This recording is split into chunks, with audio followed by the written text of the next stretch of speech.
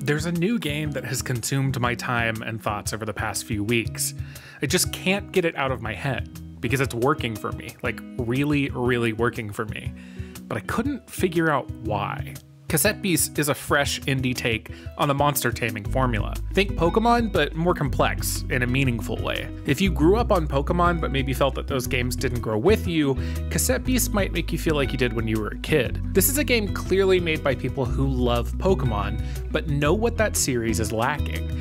They know the little things that grate on you, and they've played the other monster taming games and found all the best mechanics that Pokemon's never explored. They know what makes a monster design enjoyable, and they have their own unique twist on that formula. And most importantly, they know all the parts of a game that often get ignored, like writing, music, and visual juice, and they've elevated cassette beasts in ways that you might not expect. So if you've been looking for a game like that, I think this one might be for you. It certainly is for me, and I think I finally know why that is.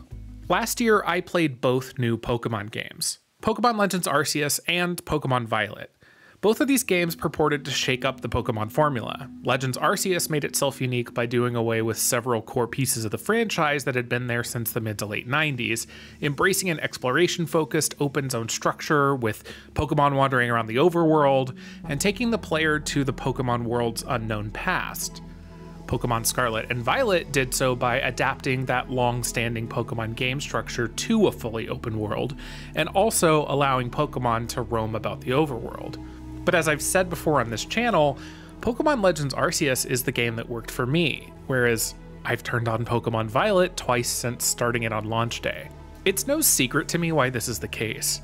Pokemon Legends Arceus trades the focus on battling Pokemon for a focus on catching them, the mechanic that I find to be far more interesting. I've never been in love with Pokemon battle systems. I'm generally not a fan of turn based combat, especially when it's as mechanically simple as Pokemon can be sometimes. Even the battles that Pokemon Legends Arceus does require of you are improved in some ways. They include things like fighting styles, which is a mechanic I personally first encountered when trying out Monster Hunter Stories, another monster catching game that didn't really stick for me. This adds something to what I find to be an overly simplistic style of combat, or at least one that hasn't had any real meaningful changes since its inception in Pokemon Red and Green. But as well as the things that Legends Arceus removed, it added to the formula as well. I wouldn't say that Pokemon Legends Arceus is extremely well written, but among the company of other more mainline Pokemon games, I certainly find it to be better. You play a protagonist dropped into the ancient Hisui region, a place where Pokemon are not kitschy, cutesy pets, but instead are monsters that the people of Jubilife Village fear. Venturing out into Hisui's open zone world means taking on a measure of risk, and that hook was enough for me. It placed me in that environment better than any setup in a mainline Pokemon game ever has.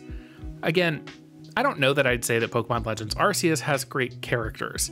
Most of its leads fall into well trodden tropes from Pokemon and anime history more generally, but having a sense of fear, of awe, rather than an empty desire for adventure was, I think, the innovation. That fear was the foundation of what I can only describe as a vibe. I use that word a lot on this channel, and today I want to try and define what I mean by that. Because Cassette Beasts, much like Pokemon Legends Arceus, gripped me. And it wasn't the innovative battle mechanics, or the creature designs, or the characters, or the music, or any aspect of this game alone. It was something woven into each of those things, into every part of this game. Because what kept me tuned into Cassette Beasts was the vibe. Cassette Beast is a game modeled after Pokemon. I know that some of you watching are probably already like, hey Matt, other monster catching games exist, and you would be right. Shin Megami Tensei, its sister series Persona, Yokai Watch, Coromon, Monster Sanctuary, Pal World, Temtem, Ooblets, Monster Hunter Stories, Dragon Quest Monsters, and even Dragon Quest V all do some version of monster taming and battling. Pokemon is by far not the only and not the first monster tamer, but it is the most popular. It's literally the largest media franchise in the world, grossing $88 billion since 1996.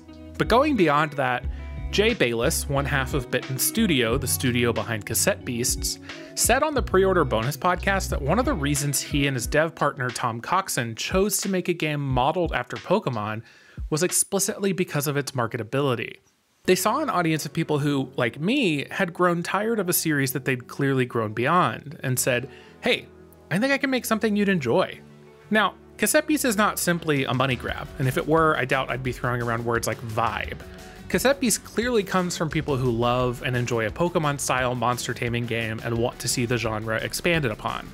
Jay has said in several interviews I've listened to that he and Tom wanted to build cassette beasts for adults, and that meant reimagining a lot of what makes a Pokemon game work. The example he gave was how when you really give any thought to what's actually happening in your typical Pokemon game, the unfortunate similarities to dogfighting are blatantly obvious, if unintentional. That was something the team needed to solve, and the way they did that was by having the human characters transform into monsters rather than sending monsters out to fight each other. Not only does it solve the unfortunate implications, but it introduces an emotional element to battles. It's no longer just your monster friends out there fighting, it's you Layer on the game's monster fusion mechanic, and you have two human characters fusing into one. Something that's been used to great storytelling and character building effect in media like Dragon Ball Z, and more seriously, Steven Universe. Here, the writing about fusion is closer to the latter. Fusion is intimate. It's maybe sexual. It's described as something shared between two companions whose, quote, hearts beat as one. That single change of recording and transforming instead of catching and fighting immediately adds a layer of meaningful complexity, of maturity, to a formula millions of people have only experienced in a game made for children. It's a new mechanic that comes with meaning. It establishes a vibe. And Cassette Beast has more where that came from. Do I need to explain what an isekai is? You know what? I'm gonna do it anyway. Isekai is a genre or a trope where the protagonist of a story is trapped in another world of some sort. Think The Wizard of Oz, the Super Mario Brothers movie, or the original Digimon series, or Sword Art Online. I mean, if you've seen Sword Art Online, you probably already know what an isekai is. And like all of those stories, the protagonist of Cassette Beasts, your player created character, washes up on Harbor Town Beach in a place called New Wirral. Not so strangely, this is nearly identical to how Pokemon Legends Arceus begins. Now, in a typical one of these stories, the main character would be dropped into this new world, maybe get some new powers, and be amazed by how spectacular and different this unexplainable new place is.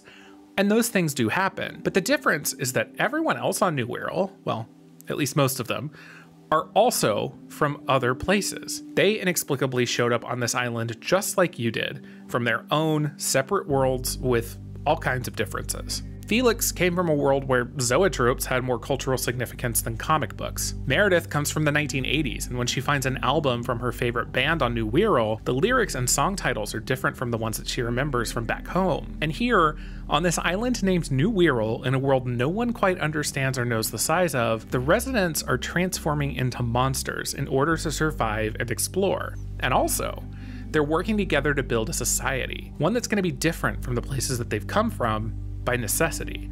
Now, there's a tendency to speculate about the afterlife in these kinds of stories, and Cassette Beast certainly invites that theory. One character no longer has a scar on their arm that was there before they came to the island, for example. But also, there's a new generation of people that were born here on New Wirral. Would the afterlife include children? The thing is, Cassette Beast isn't really interested in giving those answers. In fact, the core of the game, transforming into beasts using cassette tapes, it's never explained. One of the characters in Harbor Town explicitly tells you that it's not something you should really bother looking for an explanation for. These questions exist as a way to develop characters, to improve gameplay, to keep you interested in the world, and to establish a vibe.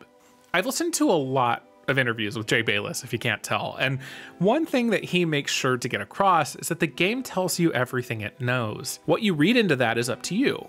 Sure, you encounter various rangers across New Wirral with the names of famous philosophers who deliver slightly tweaked versions of real quotes from those philosophers. And sure, you'll encounter a group of what are first thought to be vampires, but you learn are actually land keepers, a group of soulless real estate speculators intent on introducing a housing market and a financial system to New Wirral that it doesn't need. You might notice the game's opening quote from Sir Gawain and the Green Knight, and recognize all of the names tied into the game's main threads that are clearly based on or directly taken from Arthurian tales. But those philosophers are just references. The Landkeepers are just a wink and a nod to Jay's politics. The namesakes of the certain characters and the island itself are simply nods to James' hometown of Wirral in England and to Wirral Forest in Sir Gawain and the Green Knight. But I'm not convinced that any of this leads up to the game saying anything. And as a person who really loves when a game says something and sometimes gets a big head about enjoying that kind of thing, that leaves me a bit uncomfortable. Like, I personally read into these things a story of collectivism, an opportunity to build something new and different than what came before, a story about letting go of things you can't have and that don't serve you, and taking care of the people right in front of you. And that's fine, but according to the people that made the game, it's just not that deep. Cassette Beast is art meant to evoke feelings, to set a vibe, and that can be enough. It's clearly enough for me. I wouldn't be making this video if I didn't adore this game. So, what's so good about it anyway? Well, for me, there's three things. You know when you're trying to catch a Pokemon and you need to weaken it so it'll be easier to catch? And you know the disappointment of accidentally doing too much damage and knocking that Pokemon out before you can catch it? It's the absolute worst. Cassette Beast solves that. In Cassette Beast, you enter every battle with your partner, one of the game's several companions that you can switch between at any point. And this means that every battle, no matter how many monsters you're up against, is a dual battle. This immediately solves a lot of the more frustrating aspects of Pokemon combat for me. But one of those is that you can have one of your characters continue to weaken a monster while the other records it. And if you do, in fact, accidentally reduce its HP to zero while attempting to record, the monster won't be knocked out. You can try again. As long as you're attempting to record that monster, it'll never die. Cassette Beast seems obsessed with making monster taming games feel better in the ways Pokemon will always ignore. Moves in this game are stickers you put on a cassette tape. They're treated like inventory items you can move between your monsters. And gone is a four move limit. Most monsters in Cassette Beast start with six sticker slots, and they gain more as they're upgraded. Hell, some stickers even have a plus one slot attribute that adds a sticker slot to the tape they're stuck to. This game also gives you so much information at all times. You can see how likely a recording is to succeed. If you want to leave an encounter, your cassette player will tell you how likely it is you'll be able to flee. This game relies on a chemistry and buff debuff system rather than the hidden type based stat modifiers that Pokemon does. And the best part is that if a move you're about to use will apply some effect on a monster, the game shows you what that effect is going to be with a little icon as you highlight the monster you're going to use it on. That way, I avoid using fire moves on a water monster and giving it a healing buff. Cassette Beast wants you to love playing it. It wants you to have a good time at all times, and the quality of life improvements and battles are the first time I haven't been actively bored by standard pick a move turn based battles. These battles are not quite as, but nearly as engaging as tactics style battles for me. One of the best parts of the battles is fusion. Fill up your fusion meter, and you and your partner will fuse, becoming a combo of the monsters both of you were transformed into. It's reminiscent of those viral Pokemon fusions, something Jay Baylis said he and Tom were very much inspired by. There's just so much here to sink your teeth into. There's a complexity that doesn't overwhelm, but instead keeps you engaged. And that's not even to mention the music in this game. The battle music goes so hard and is infinitely listenable. In fact, I've been listening to it in the car every day and I'm actively listening to it while writing this video. The thing that absolutely blew me away was that the music is not just situational background music. In certain scenarios, there's actually lyrics. When you fuse with your partner during a battle, you'll hear Shelby Harvey's killer belt serenading you as you kick some ass. When you move from outside to inside in Harbor Town, the melody of Wherever We Are Now will seamlessly transition from an appropriate instrument to Shelby's voice. The songs are cozy in the right places. They go hard when you're in battles. They're mysterious when you're exploring the game's darker corners. And they're produced like a game with a budget much larger than this game likely had. But it reminds me of how I felt about Darren Korb's soundtrack for Hades. It's a video game soundtrack, but it's not video gamey. It's hard to overstate how important voice is to my experience of this game. Hearing Shelby Harvey's voice for the first time when walking into the Gramophone Cafe genuinely shocked me. It adds a character to the Cassette Beast world that I didn't expect. And speaking of characters, the meat of Cassette Beast's narrative is, I believe, in the story of the partner characters. Sure, the grander, plot driven narrative mystery is there, and it's interesting. But the pieces of story that stick with me are the ones that help me to get to know Kaylee, Felix, Meredith, Viola, Barksley, and Eugene. I kept looking for some connection between the individual stories of each companion, and maybe I'm totally dumb and missed what the game was trying to say, but what I found was pretty thin. There's a theme in a few of the companion quests of ideas made manifest, and that is something that follows through into the overarching narrative. But except for a sentimental believe in your friends style climax that feels ripped from Pokemon, a game this one outclasses in most other ways, I didn't feel like Cassette Beasts ever did anything with that theme. And I want to be clear, this is one flaw in a game that I love in a lot of other ways. I actually really admire a lot of the writing that Jay and Tom have done here, because what this game does have are characters who are made to feel like real people, and whose personal stories that I'm actually interested in. Beast manages this in two major ways through voice acting and through believable quest lines and backstories. Now, not every line is voice acted, but the beginning of an interaction might have the first couple words or a hearty laugh, and the character portraits feel grounded in who these people were before they arrived on New Wirral, not just who they are now that they're here. I also really appreciated the game's willingness to explore backstories that were a bit more adult. Kaylee, for example, is dealing with the guilt of having been a cult leader's second in command shortly after she arrived on New Wirral. Meredith is struggling to adapt to life here and is very clearly, to me at least, dealing with depression in relation to that struggle. Felix, well, he has a rather funny story, but it's ultimately about learning to embrace the art he made when he was younger, rather than being embarrassed by it. I really admire Jay Baylis and his ability to write characters that don't feel like every other boring companion character, but instead feel like living, breathing people. Like, Sure, this is a monster catching game where you transform into monsters recorded on cassette tapes, but within that ridiculous premise exist fictional people that actually feel like they come from the far more normal worlds they claim to be from. I think without that diverse set of extremely well written characters, I probably would have dropped this game after an hour or so. Certainly, there is a larger package of things working for me, but these characters are pretty critical to the experience I've had with this game. If the vibe of Cassette Beasts is meaningful complexity, then it's these characters and the way they're delivered that is the front door to that experience.